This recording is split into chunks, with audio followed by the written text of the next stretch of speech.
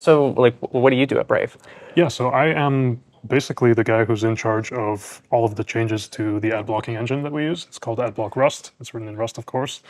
Um, so we we basically have the only ad blocker that is natively compilable to machine code. The cool thing about that is we run it and, and patch it directly into Chromium rather than running it through the extension platform. And we've seen a lot of issues with like manifest v 2 deprecation and moving to manifest v3. And one of the big topics at this conference is like all of the issues caused by certain extension platforms and things like that. And so we basically get to sidestep all of those and develop cool features without worrying about, you know, what is Google going to remove from the extension platform or how are we limited? Yeah, and then how does this tie into platforms like iOS where you have a little bit less flexibility? Yeah, iOS is definitely like a thorn in my side all the time. um, we, we have a separate engineer on the team who's very good at uh, integrating the iOS ad blocking stuff. He takes some of what we do in Android and desktop, which generally use the same code base. Um, and then he, he kind of combines that with the APIs available for iOS. So there's a special content blocking API that uh, is released by Apple, and that looks pretty similar to Manifest v3, honestly. So there's a lot of limitations, but we do what we can to get around it. Is Apple's changes with URL filtering something that could benefit Brave on iOS, or is that kind of out of your wheelhouse? Yeah, um, that's actually kind of separate because that is at the system level. Okay, so, so it's out We of... mostly focus on like directly in the browser. Got it. Yeah, I was wondering because I know you also have the VPN with the third party, so I didn't know if that was something you'd yeah, consider. Exactly. We do some filtering on the VPN side, but it's uh, it, it's not exactly. I guess AdGuard does a lot of system deep integration, and we, we try to focus mostly on what can we provide in the browser. Yeah, and, and you mentioned, and I, I've read actually your research on these AI browsers and the implications there. Um, but you guys have some AI tools yourself. So what's kind of the difference between how Brave would handle AI versus what we're seeing from companies that deprecated yeah. their old browsers and put out their new cloud. Yeah, exactly. Essentially. Um, yeah, Brave's approach is definitely like give the user control, give the user agency, and, and make everything as private as possible. So we have a couple of like remote providers that you can use for uh, a chat agent in the browser.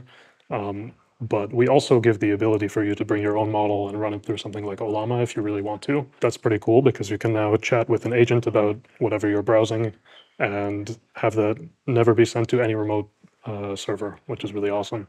And of course, we have a search engine as well. And we have uh, search summaries using an AI summarizer. And those have been really amazing as well. I've had people say that they're much better than what Google can provide, which is pretty cool. Very cool. Yeah, and uh, one question that I, I, know a lot of people might have, because I, I, see this a lot. I don't do it because I think Brave Shields works very well in Brave Browser, but um, what differences or what are the pros and cons between someone who like disables Brave Shields and just uses uBlock Origin mm-hmm. instead of just using the built-in Brave Shields? What are the kind of the differences there? Yeah, so I mean, the nice thing about uh, Brave Browser is that we we do extend support for Manifest v2 even after Google has deprecated and removed it. Uh, so if you really want to run uBlock Origin, uh, the, the old Manifest v2 version in Brave, you can totally do that. We honestly recommend just using Brave Shields. We think it's totally good enough. uBlock Origin actually has some very nice like debugging tools. So for especially for our filter list maintainers, it's very nice for them to be able to see a log of what's happening. But for most users, that's not really relevant. And the other nice thing about Brave Shields is that because it's all native code and not tied to any extension API, you can do some special things. So we have CNAME uncloaking on Chromium, which currently only uBlock Origin is able to do in Firefox because there just isn't an API for that in Chromium browsers. Wow. Something I'm gathering as an amateur yeah. uh, is that there seems to be different priorities that ad blockers can have. There can be a strict priority of just blocking ads and making the internet a bit more usable to people. Mm-hmm. But things like uBlock Origin also have specific features that are strictly for privacy. So what's kind of the ratio or balance that Brave Shields is trying to target? Like what are really the goals of yeah, having that's Brave a good Shields? point. So yeah, I think we've seen basically, you know, AdGuard, they, they have this philosophy of make everything work on every platform to uh, as much of a similar extent as possible.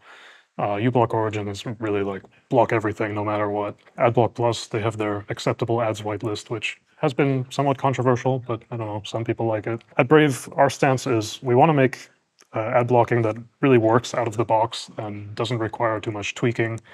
And if you want to block um, everything, every ad and first-party sponsored content and whatever possible. That's all uh, built in and accessible. But if you just want ad blocking out of the box, you want good privacy protections, and um, the default settings are amazing for that. And you know, there are things like um, some sponsored content that people actually like to see, and we we try not to block first party content by default. I know some people have their opinions about that, but Yeah. there, there's always a, a balance to strike when it comes to supporting a large user base. Very cool. Thank you so much. Yeah, of course.